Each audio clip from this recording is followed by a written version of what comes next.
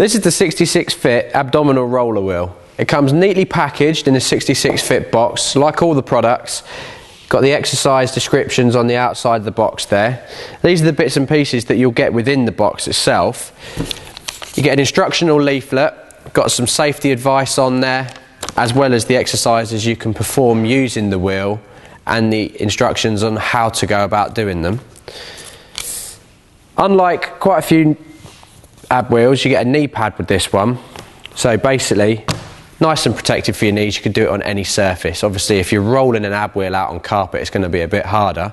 But if you're doing it on a nice hard surface, it's much easier to roll the wheel out, but it's a bit more unpleasant for your knees. So that's a nice little addition. The wheel itself got two foam handles. I'll just show you how to put it together. You're going to put the axle onto one of the handles. Now this is a double wheel as opposed to some wheels that you may have seen that are a single wheel. Just provides a little bit of extra stability, a bit of extra safety. Two wheels slide onto the axle there. You're going to take the other handle and just slide that into place. It's just going to squeeze up nice and tight against the two wheels.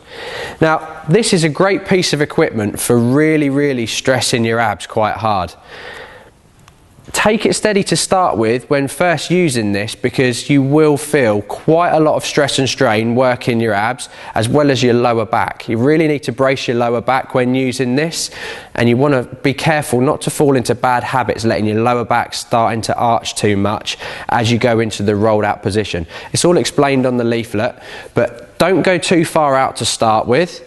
Just gradually take it out and as your abs get stronger take it further and further out, aiming to get your chin down towards the floor so as you're at maximum extension.